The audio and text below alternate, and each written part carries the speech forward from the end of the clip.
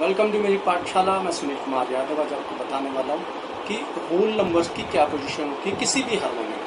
ठीक है? बहुत सारी क्वारीज बहुत सारे क्वेश्चन लोगों के जनरली मेरे पास आते रहते हैं। कह रहे सर, आपने बताया था कि नौ नंबर में सा बजेगा, मेरे पास फलाना माउथोर्गन है और कोई बता रहा था कि दस में बजेगा तो ये तो कैसे पता चलेगा? बहुत सारी क्वारीज आती है। ठीक है?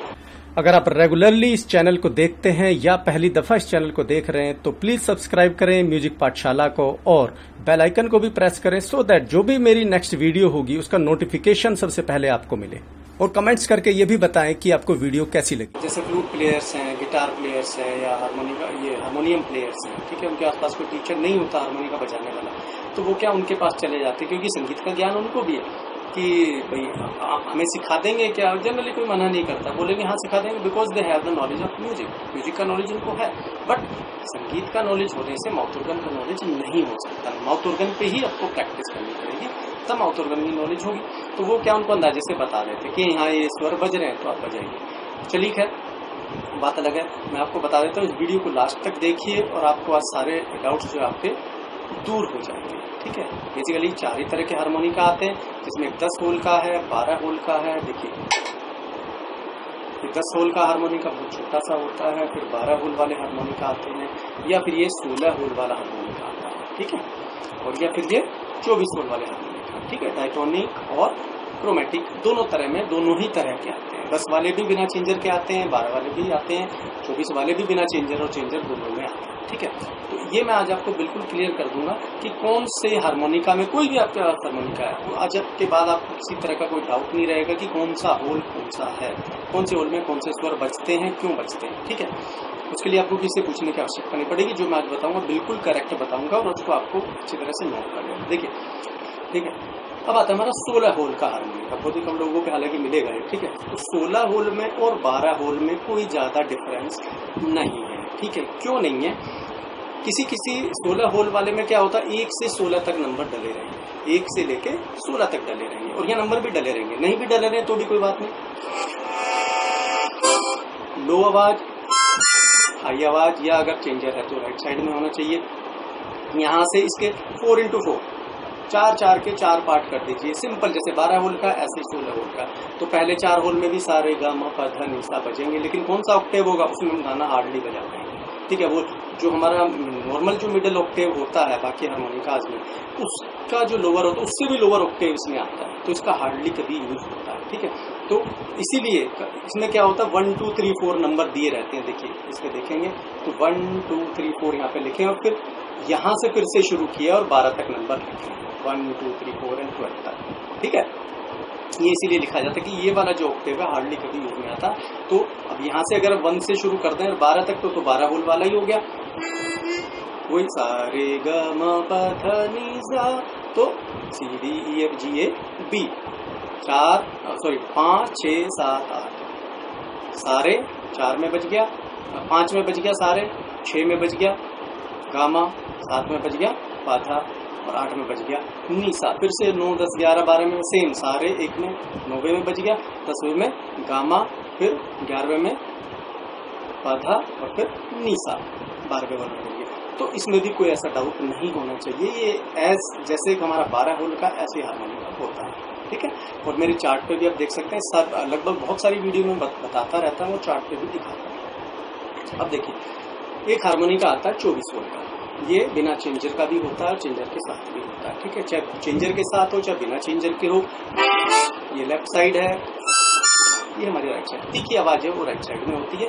टूवर्ड्स माई राइट ये हमेशा चढ़ती हुई आवाज़ होती है। हाई पिच होती है, यानी कि जो असेंडिंग होती है। ठीक है, ऊँची स्वर चलते हैं। इसमें क्या होता है कि इसमें इन 24 होल को हम सीधे अगर यहाँ से गिनती करें अपने लेफ़्ट साइड से, एक, दो, तीन, चार, पाँच, छह, सात, आठ, नौ तो इसमें क्या होता है? आठ आठ के तीन कॉलम बने आठ आठ और आठ। ये लोअर ऑक्टेव मिडल ऑक्टेव और अपर ऑक्टेव ठीक है? तो जो पहले आठ हैं, पहले आठ में सारे गामा पथा निशा बजेंगे फिर दूसरे आठ नौ से लेके और पंद्रह तक, नौ, दस, ग्यारह, बारह, तेरह, चौदह, पंद्रह और सोलह, ठीक है? सोलहवे तक। हमारे सारे गामा पधा निशा यानी कि नाइन टू सिक्सटीन वो सारे गामा पधा निशा बजेंगे और फिर से सारे गामा पधा निशा बजेंगे अगले आठ में। लेकिन बजते कैसे? देखिए, पहले होल में सा, दूसरे में रे। इसमें क्या होता? है अल्टरनेट होते। जो मैंने अभी बारह होल या सोलह होल वाले बचाए, या दस होल वाला जो बताया उसमें क्या होता है? एक ही होल में ब्लो भी होता है ड्रो भी होता है। यानी कि एक होल में सा, रे दोनों बच जाता है। ब्लो करेंगे, सा बजेगा ड्रो करेंगे, रे बजेगा। इसमें ऐसा नहीं होता। इसमें क्या होता है? ब्लो करेंगे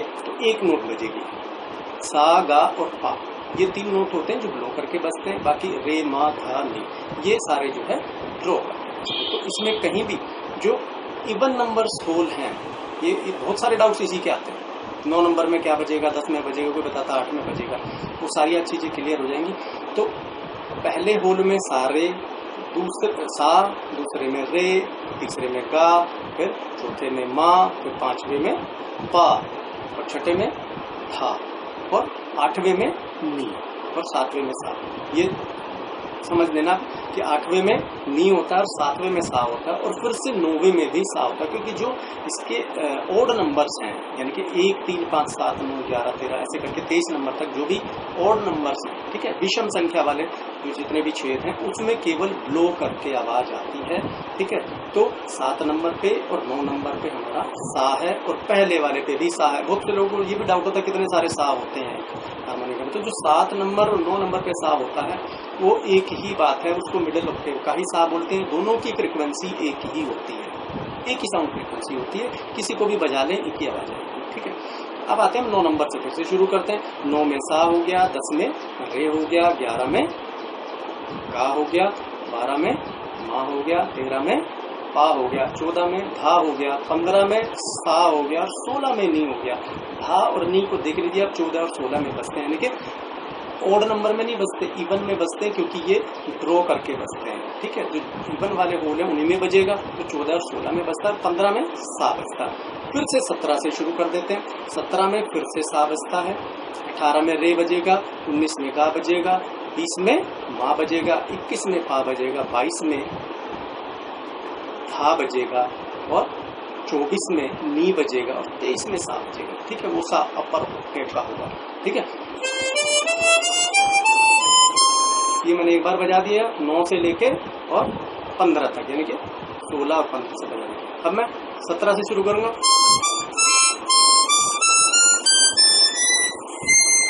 ये भी बज गया लास्ट वाला होल ब्लॉक है, कोई दिक्कत नहीं। ठीक है? तो ये आज मैंने होल की पोजीशन आपको सब क्लियर कर दी, किस होल में कौन सा स्वर बचता है? C D E F G A B इनको बोलते हैं। तो सारे गाँव पता नहीं, इनके बीच में कोमल स्वर्स भी होते हैं, उसके लिए मेरी अलग वीडियो है, उनको आप देख सकते हैं। तो आज के बाद शायद आपके सारे डाउट्स क्लियर हो जाए, जितना भी जो भी हारमोनिका है, सब में यही हिसाब होता है। किसी में कोई अलग से कुछ नहीं आएगा। चाहे आप महँगा ले लें, सस्ता ले लें, एक लाख रुपए का ले लें, पचास हज़ार का ले लें, चाहे दो हज़ार रुपए का ले लें, सब में एक ही तरह के होल आते हैं। स्टैंडर्ड है फिक्स्ड है म्यूज़िक एक साइंस है, इसको बात को आप समझ लें, ठीक है? चलिए आज के लिए इतना ही। अगर आपको वीडियो अच्छी लगती है तो इसको लाइक करें शेयर करें सब्सक्राइब कर लें चैनल को बेल आइकन को प्रेस कर लें सो दैट आपको नोटिफिकेशन मिलेगा नेक्स्ट वीडियो आज के लिए इतना ही। धन्यवाद।